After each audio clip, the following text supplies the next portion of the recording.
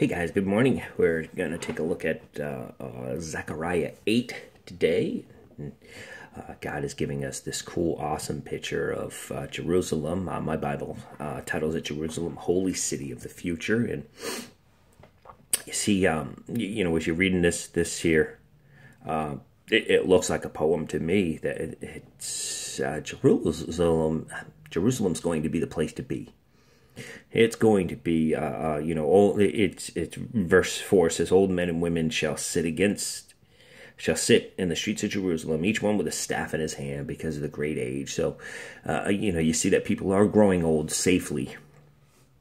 And in verse five, the streets of this city are filled with boys and girls playing in the streets and you know you, you picture that as as being safe and being secure and and you know being a place maybe where you would want to be and you know as as you read down and and you know you see all all the great things that God is going to uh, accomplish there. God is going to be there, and I love the way this chapter ends. It says, verse twenty three. Thus says the Lord of hosts. In those days, ten men from every language of the nation shall grasp the sleeve of a Jewish man, saying, Let us go with you, for we have heard that God is with you.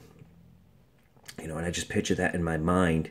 Um, you know, it's so different than what we have today. You know, today, it, it seems the world just wants to kill a Jewish man just because they're Jewish, just because they come from Israel, and and and this is just such a contrasting picture.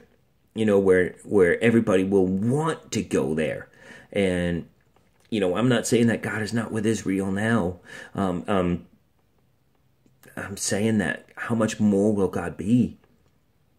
You know, in the days when He brings this peace, and the day when all of the, this fighting and all of this stuff is over, and the day when New Jerusalem comes, and and if you read, you want to know a little more about New New Jerusalem, read Revelation 21.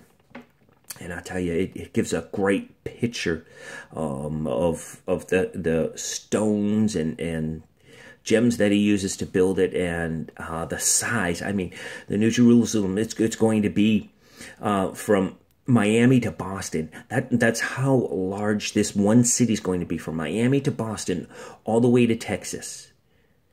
You know, it's going to be huge, huge. 2,000 miles up, 2,000 miles wide. Huge. One city.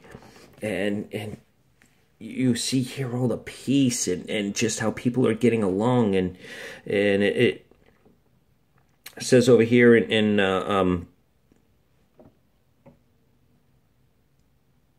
in one of the verses it says that, that people won't be lying to each other and people will be treating each other with justice and man that's a place i want to be that's a place i want to be so Please read, read a little more into it. Read Revelation 21 and, and let your imagination go. God gave you that imagination so you can dream of great things after Him. Use it. Have a great day, guys. I love you all.